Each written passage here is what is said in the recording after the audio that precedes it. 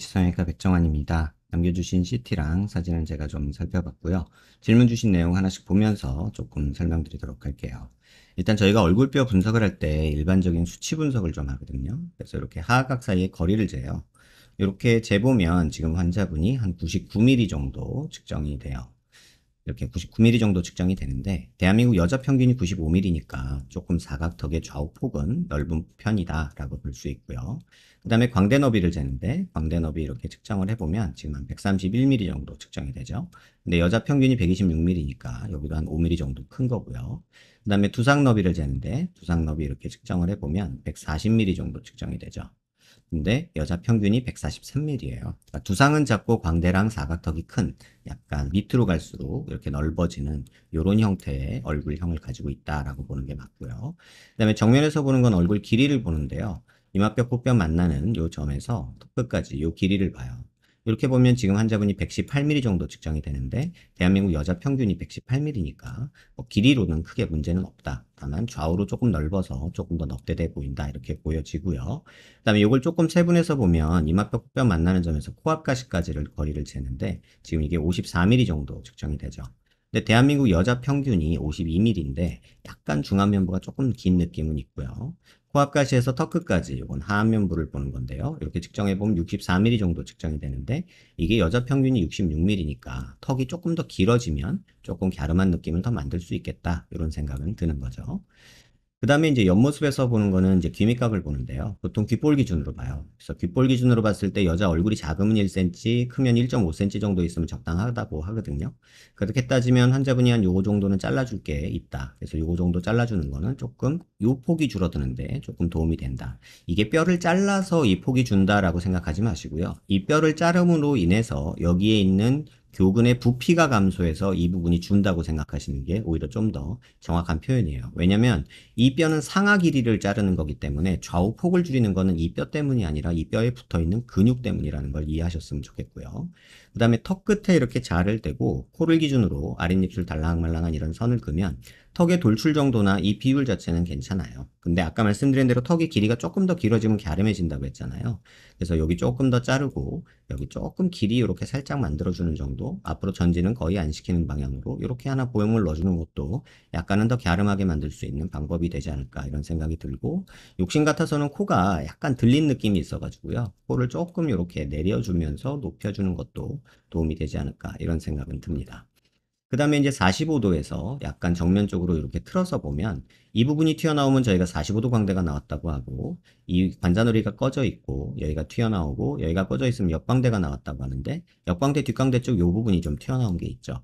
그 다음에 45도 정도는 이 정도면 그렇게 나온 건 아니고요. 다만 이 부분이 많이 튀어나온 게 있어서 광대 수술은 어느 정도 조금 도움이 된다 이렇게 말씀을 드리고 싶어요. 그 다음에 이제 또 보는 거는 뭐냐면 이제 비대칭 관련해서 말씀드릴 텐데 얼굴에 이제 눈뼈 아랫뼈 기준으로 이렇게 수평선을 그리고요. 얼굴 미간 중심에서 이렇게 수직선을 가요. 그럼 지금 환자분의 턱이 약간 오른쪽으로 이렇게 틀어집니다. 그래서 자세히 뭐 느끼셨는지는 모르겠지만 이쪽 방향으로 틀어져서 입도 살짝 윗입술과 아랫입술이 조금 안 맞는 약간 이렇게 비대칭인 게 조금은 보이거든요. 그래서 이런 부분이 이제 환자분이 느끼는 얼굴 선 라인에도 좀 다르게 느껴지게 돼요. 그게 사진에서 보면 이쪽이 조금 더 사각턱 느낌이 나고 이쪽이 조금 더 갸름한 느낌이 날 거예요. 그 이유는 뭐냐면 턱이 이쪽으로 가면 이쪽은 짧아지고 이쪽은 밑으로 내려오게 됩니다. 그런데 대신에 이쪽으로 옮겨가면서 이 폭이 줄어요. 그럼 이쪽은 갸름하게 되고 이쪽은 짧은데 넓은 느낌이 들면서 이렇게 불룩해지게 되는 이런 현상이 나타나는데 지금 환자분도 그렇고요. 옆모습에서 보면 왼쪽에서 보면 오른쪽 사각턱이 안 보이는데 오른쪽에서 보면 왼쪽 사각턱이 이렇게 밑으로 내려온 게 보이죠. 그래서 이쪽은 밑으로 내려왔지만 이 폭은 줄어든 느낌이고 얘는 밑으로 내려온 거는 없지만 옆으로 벌어진 느낌이 생기는 게 그 이유예요. 그래서 오른쪽이 조금 더 넓어 보이는 느낌이 생기는 이유다라고 보시면 되고 이걸 고개를 들어서 보면 좀 더 잘 볼 수가 있는데 얼굴 미간 중심에서 이렇게 수직선 그리면 턱 끝이 지금 이렇게 돌아간 게 보이고요. 그 다음에 턱관절 있는 데서 이렇게 수평선을 그리면 이쪽이 살짝 뜬 게 보이죠. 이 얘기는 뭐냐면 턱이 지금 이렇게 갔다가 옆으로 이렇게 간다는 뜻이에요. 그래서 이런 식으로 가면 이 폭이 넓어지고 이 폭은 조금 좁아지는 현상이 생기거든요. 그래서 그거 참고하시면 좋겠고 그다음 역광대도 보면 눈 윗뼈에서 눈 아랫뼈 만나서 이렇게 일자로 떨어지는 게 우리가 가장 이상적이라고 하는데 그렇게 따지면 45도 광대는 별로 줄일 게 없는데 이 옆광대 뒷광대 쪽에 조금 튀어나온 부분이 많아서 광대 수술은 도움이 된다 이렇게 말씀드릴 수 있을 것 같아요. 질문 주신 내용 하나씩 보면요. 뒷광대 뒷광대 말씀드린 내용이고 팔자주름이 있다 하셨는데 지금 이 정도 팔자주름이면 그렇게 심하진 않습니다.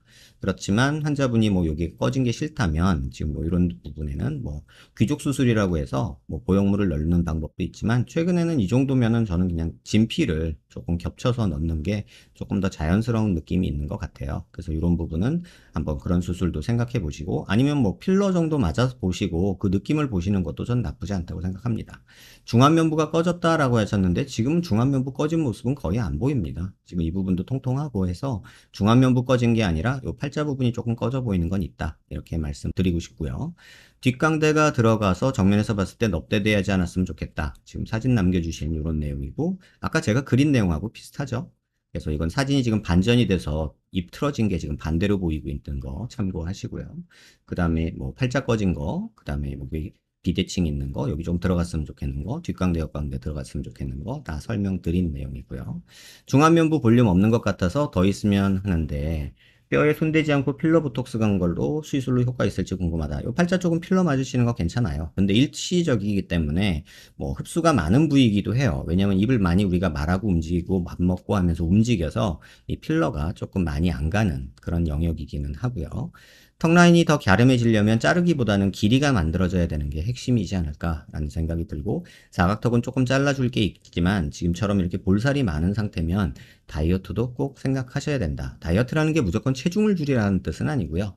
체지방률을 낮추라는 뜻이에요. 운동도 병행하셔서 체중을 줄이는 노력도 필요하겠지만 체지방률을 낮추는 거를 꼭 신경 쓰시라 말씀드리고 싶고 턱 라인이 더 갸름해졌으면 하는데 뼈를 깎는 게 좋을지 아니면 인모드나 보톡스 지방 제거로 효과 볼 수 있는 건지 궁금하다 하셨는데 모두 다 효과는 있어요. 하지만 인모드나 보톡스는 뭐 조금 저는 의문점이 있고요. 지방 제거는 효과는 있는 반면에 부작용이 만만치 않아서 운동으로 살을 빼는 게 훨씬 더 예쁜 모습이다는 거 꼭 지적하고 싶고요.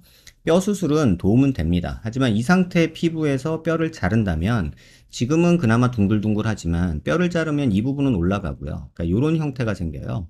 사각턱을 자르면은 여기서 변화하고 3등분으로 나눠서 보면요.